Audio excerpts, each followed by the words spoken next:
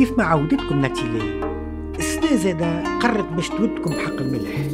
تهديهولي عزيز عليكم فرحوها وتفرحوا معاها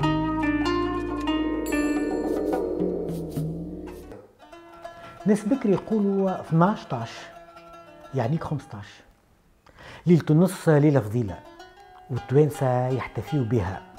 يقربوا إلى الله زلفى كل واحد على طريقته. وجرت العادة زادة أن نطيبوا الكسكسي ليلة النص.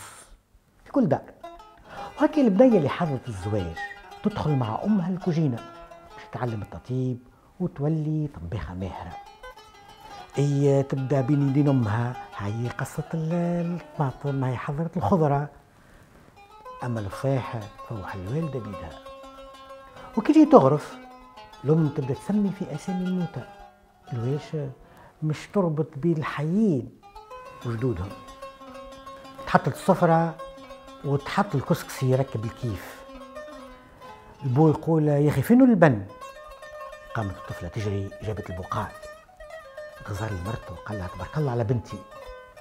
قالت له مرته إن شاء الله نهار آخر راجلها يعرف قيمتها ويودها بحق الملح.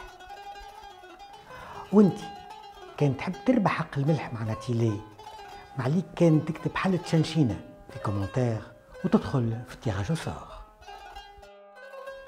عالضيف اللي جانا وفرحنا بيه نزل وبات حذانا صبحنا ضربتو فيه